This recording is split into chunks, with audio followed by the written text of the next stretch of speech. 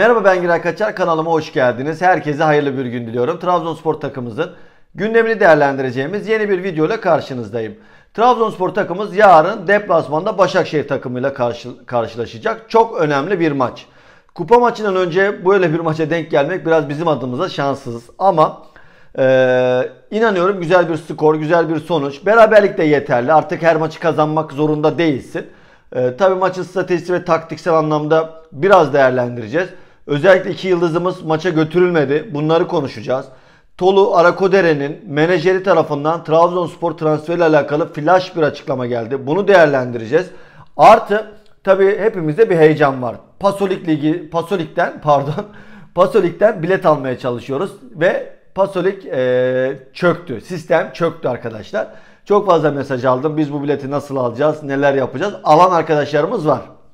Ama tam ödemeye geldiğinde ödenmedi şikayetleri var. Yani bu bir yani bu kadar basit e, yani çökmemesi lazım sistemin. Sonuçta yani belli belli bir bilet sayısı çıkacak. İnsanların buna yükleneceği belli. Yani bu kadar kolay çökmemesi gerekiyor. Ne olursa olsun bunun önlemi alınması lazım. Çok saçma bir durum söz konusu bu. Pasolik işi çok saçma bir durum. Ve e, kilitlendi, çöktü. Ne derseniz deyin artık ve insanlara eziyet oldu. Bin kere, yüz kere işi gücü bıraktı millet bilet almaya çalışıyor. Bu işe acil çare bulmak lazım. Sistem mi değişecek ne olacak bilmiyorum arkadaşlar. Ama e, kapalı gişe bir maç bizi bekliyor. Gerçekten son bir haftada lig çok heyecanlı. Bakın Türkiye Kupası'nda Beşiktaş, Trabzonspor, ligde Galatasaray, Fenerbahçe karşılaşacaklar. Bu hafta içerisinde çok güzel bir futbol ziyafeti olur inşallah. Hakemler maçları etki etmez arkadaşlar. İnşallah güzel olur. Güzel sonuçlar olur, güzel skorlar olur. Ne olursa olsun da kupayı biz alalım. Bunu istiyorum arkadaşlar. İnşallah Trabzonspor takımımıza bu kupa gelir. Büyük bir moral olur. Güzel bir artı olur bizim için. 100 milyon e, TL ödendi 2 gün önce. 140 milyon TL 10 gün içerisinde ödenmesi gerekiyor. 15 gün içerisinde ödenmesi gerekiyor. Ciddi anlamda bununla alakalı çalışmalar var. Bir tarafta ekonomik krizimiz var. Aslında bakmayın ciddi bir problem. Bir tarafta da transferler yürütülüyor.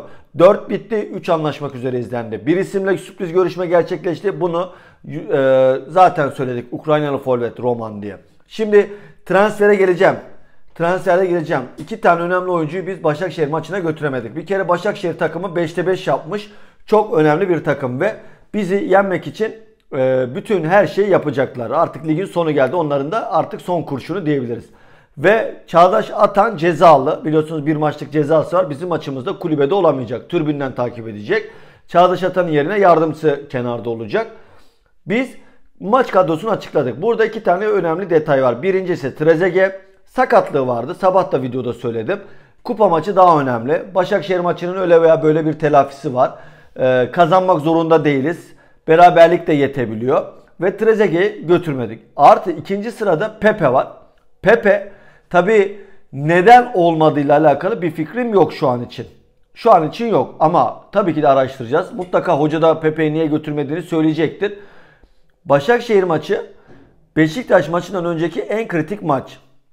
Ve böyle bir kritik ortamda her türlü Pepe'ye ihtiyaç var. İyi bir Pepe'ye her türlü ihtiyaç var. Pepe'nin transferi mi gerçekleşti? Pepe gelmek mi istemedi? Pepe'nin sakatlığı mı var? Bu sorunun e, cevabını merak ediyoruz.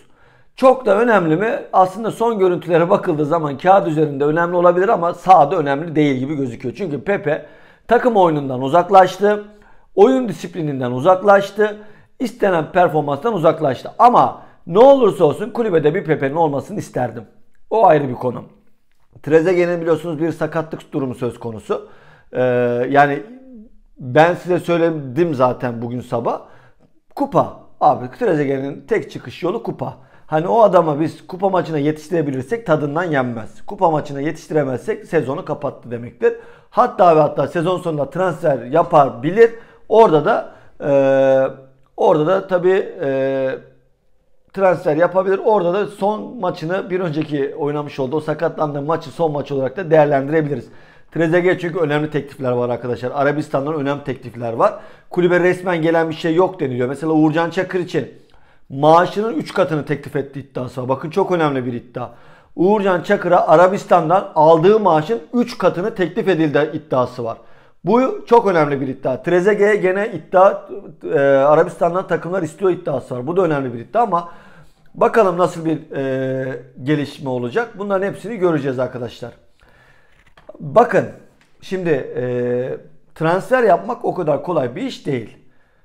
Yani e, hele ki mevcut yönetimi ve hocanın yapacağı bu transferler hatasız olması gerekiyor.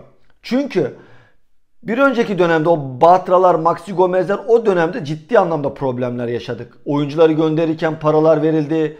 İşte e, istediğimiz sportif başarıdan uzaklaştık. Abdullah Avcı koltuğundan oldu, yerinden oldu ve e, ciddi ciddi problemler yaşandı ve hala ve hala da bunun sıkıntısını ekonomik anlamda çekiyoruz. Maddi anlamda e, çekiyoruz.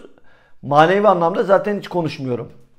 Ve şimdi e, yine transfer politikamızda birçok isim gündeme geliyor. Şimdi normalde Tolu Arakodere'nin menajeri şöyle bir açıklama yapmış arkadaşlar. Yurt dışında basında çıkan bir haber. Trabzonspor takımıyla alakalı çıkan haberlerle alakalı ilgilenmiyoruz demiş. Transfer olmamız söz konusu değil demiş arkadaşlar. Bu bir iddia altını çizeyim. Trabzonspor takımımızla e, transferle alakalı ilgilenmediklerini söylemiş. Bu çıkan haberlere bu şekilde cevap vermiş. Tolu Arakodere'nin menajeri. Şimdi ben zaten hani Tolu Arakodere ile alakalı 10 milyon euroluk bir istek olduğunu söyledim sizlere. Artı bu transferin 23 yaşında bu sezon çıkış yakalamış bir oyuncu Tolu Arakodere. Ve Tolu'nun Trabzonspor takımımıza geldiğinde birinci Santofor'da neler yapabileceğiyle alakalı benim kafamda hala soru işaretleri var. Bu sezon gerçekten çok çıkışı var. Oyuncu bu sezonki performansı 15 gol 3 asist 49 tane maç oynamış. İnanılmaz iyi bir e, maç statistiği var bence. Maç sayısı var. E, 49 tane maç kolay değil. Ama geçtiğimiz dönemlerde oyuncu boş geçmiş. Bu sene ciddi bir çıkış yakalamış. Bizim Deniz Draguş'umuz var. Bizim Enis Destan'ımız var. Oraya Onaçu'yu getirebilir miyiz? Önemli olan detay. Onaçu ya da Onaçu gibi bir lejyoner bir oyuncu getirebilecek miyiz? Önemli olan detaydan bir tanesi bu. Biz sürpriz olarak Roman e, Yaremçuk'la görüştük biliyorsunuz. Bu oyuncuyla alakalı teklif yapıldı ve bekleniyor. Bu oyuncu da şimdi kiralık ve biz Valencia'da kiralık ve biz gene kiralama formülü üzerinden yürüdüğümüz için Roman Yaremçuk biraz öne çıktı biliyorsunuz Santofor'da. Bu isime resmi teklif gitti. Beklemedeyiz. Roman'la alakalı bir haber gelirse zaten bunu sizlerle paylaşırız. 4 isim bitti. 3 isim imza aşamasında bir isimle daha görüşüyoruz dediği ismin Roman Yaremçuk'un olduğunu sizlere rahatlıkla söyleyebiliriz arkadaşlar. Bunu da göreceğiz. Bugün bir haber okudum. Bu da önemli bir haber. Onaçu ile alakalı. Onaçu Trabzon'da mutlu değilmiş. İstanbul takımına transfer olmak istiyormuş. Şimdi bunun bu haberi kim nasıl yapar çok e, merak ediyorum ama tam Beşiktaş maçı öncesinde böyle haberlerin çıkması da birazcık enteresan. Tabi taraftarımız gaza gelmemesi lazım. Oyuncu zaten buna okumuştur, duymuştur, gülüp geçmiştir diye düşünüyorum. Çünkü hani Onaçu burada memnun değil, mutlu değil diyen kim varsa yani güler geçersin. Çünkü gerçekten oyuncu mutlu. Röportajlarında bunu gözüküyor. Kulübümüz mutlu olmayan, burada sıkıntı olan bir adam için elinden geleni yapar mı? Yoklama yapar mı arkadaşlar? Bunu göremiyorlar mı? Yani biz biz bunu göreceğiz. Gazeteci adam gitmiş İstanbul'dan bunu görmüş. Biz bunu göremeyeceğiz. Yani yöneticilerimiz bunu göremeyecek. Adam mutsuz. 15 milyon euro istiyorlar. Zorla biz adamı getirmeye çalışacağız. Böyle bir dünya yok. Öyle de bir oyuncu değil zaten Onaçu. Onaçu buradan mutlu. Ve hatta ve hatta şöyle haber verebiliriz sizlere Onaçu ile alakalı. Oyuncu e, transferiyle alakalı destek olacak. Hani Trabzonspor kulübümüze yardımcı olacak bu konuda. Kulüple iki kulübün arasına girecek diye beklentimiz var. Aksine bu haberler tabi e, yapılıyor ulusal medyada. İşte biraz havayı kaçırmak mı, biraz taraftarı galyana getirmek mi? Ya zaten Beşiktaş'a gitmek istiyor, Fener'e, Galatasaray neyse. İstanbul takımlarına güya gitmek istiyormuş da oraya transfer olmak istiyormuş gibi haberler vardı. Çok inandırıcı değil arkadaşlar. İnanmayın size. Ben de inanmıyorum zaten. Ee, Tabi Petkovic'i geri planda koyduk. Stoper'de yerli hamlesi bekleniyor. Stoper'de Fernandes'in gitmek istemediği ile alakalı haberler var. Ryan Bania'yı kiralamak istiyoruz. Menajeri çalışmalara başladı. En son Napoli ile görüşme gerçekleştirdik. Somut bir şey yok şu an dedi. Belli ki Ryan Bania ile yollar ayrılacak. Berat burada kalmak istediğini kulübe bir kez daha iletti. Burada top Berat'ta. Niye Berat'ta? Çünkü kulüp Berat'a kendini çözmesini istiyoruz dedi. Bonservis Berat için verilmeyecek gibi gözüküyor arkadaşlar. Şimdi e, Başakşehir maçı zor bir maç. Tabi 5 maçtır kazanıyorlar. 6 maçtır kaybetmiyorlar. Beşiktaş'ta berabere kalmışlardı. Bizim maçımızda e, top oynamaya e, müsait bir e, sağ, top oynayacak bir takım ve bize sağlı ve sollu kanatları kullanarak sana özellikle Piyotek gibi de çok önemli bir santroforu var 14 golle oynayan. Stoperleri uzun boylu. Gene duran topta sana cevap verebilecek. Sana karşı futbol oynamak isteyip sana üstünlük kurmaya çalışabilecek bir takıma karşı oynuyorsun. Benim öngörüm Abdullah Avcı biraz kompakt bir takım, defansif bir takım kurgusuyla beraber daha çok geçişi deneyen bir takım görüntüsü çizecek.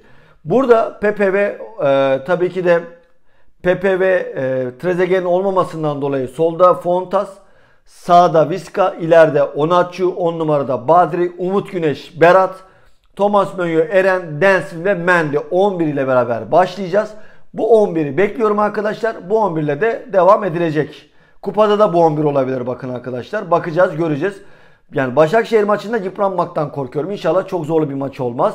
Rahat bir maç geçiririz. Golümüzü atarız. Şöyle erken goller gelir. Ee, oyun onu göstermiyor. Takım oyunu, isteği, konsantrasyonu bunu göstermiyor. 3 gün sonraki kupa maçına dönük düşünürsek kaybederiz. Bu maçı kaybederiz. Puanlar 61-61 olur. Son haftayı yani bayağı bir sıkıntılı geçirebiliriz son haftayı arkadaşlar. E, çok uzatmayacağım. Şimdilik bu kadar. İki tane önemli oyuncu götürmedik. Tolon'un menajerinden flash bir açıklama geldi. Onaçu ile alakalı yalan bir iddia diyebileceğimiz bir iddia geldi. Bunların hepsini değerlendirdik. İnşallah videomuzu beğenmişsinizdir. Kendinize çok iyi bakın. Allah'a emanet olun.